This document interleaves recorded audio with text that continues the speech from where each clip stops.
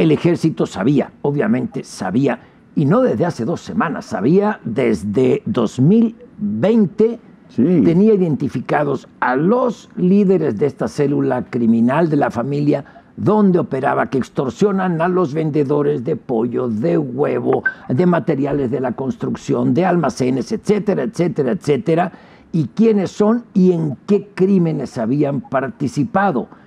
Quienes conocemos a nuestro Instituto Armado sabemos que pasan esta información a la espera de una orden. Y si alguien frena esa orden, no es el propio ejército, sino que son eh, las instituciones o los políticos que dan instrucciones al ejército. En este caso, sería así. Así es, Pablo, así es.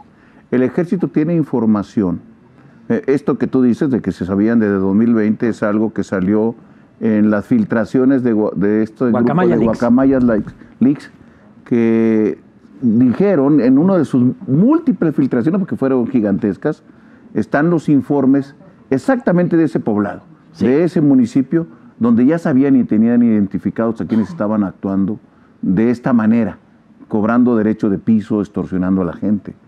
Pero el ejército es una institución, válgame la palabra, institucional. Claro. Que, que tiene un comandante supremo. Si el comandante supremo ordena, actúan. Si el comandante supremo no ordena, ellos no actúan.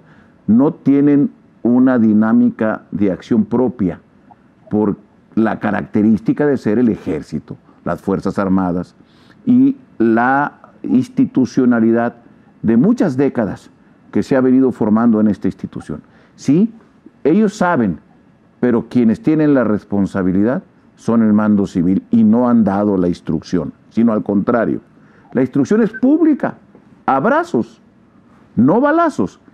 Y hemos visto escenas donde delincuentes eh, humillan a miembros del ejército. Sí, claro, claro. Que, que, les han golpeado sus camionetas, les gritan, los insultan. Es algo que causa molestia al interior de sectores del ejército porque pierden la dignidad que se tenía. Tú, todo el mundo hace algunas décadas llegaba al ejército y todo el mundo se ponía en paz. Sí. Todo el mundo se calmaba porque llegaba el ejército. Hoy los delincuentes que saben que tienen una orden de no agredirlos, de no atacarlos, de dejarlos pasar, a veces humillan, lastiman al propio ejército.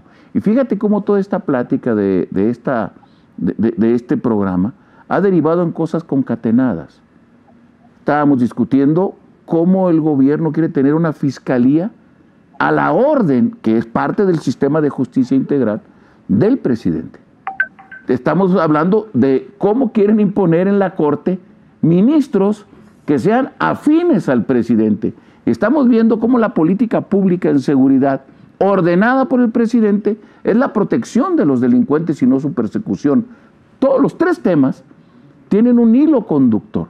El presidente de la República quiere tener el control desde la Corte, el Poder Judicial, las fiscalías y la operación inmediata abajo y lo que se ve es que toda esta operación sirve para que la delincuencia tenga ámbitos de impunidad, de acción, que le perjudican a la ciudadanía, a nuestras libertades y a nuestro Estado de Derecho. Antes de meter la provocación de que si quiere tener el control de todo el Estado, incluyendo estas partes que son, eh, que corresponden al Poder Judicial, que corresponden al Legislativo, que corresponden a la ciudadanía, si lo va a tener, lo quiere tener desde Palacio Nacional o desde Palenque. ¿hay algún comentario? Pablo, tenemos una pregunta bastante interesante de María Dolores que dice, buenas tardes, yo pregunto, si no se puede ya enjuiciar a este tipo, ya es insostenible esta situación, es alarmante y muy peligroso. ¿La Cámara de Senadores no podrá hacer algo?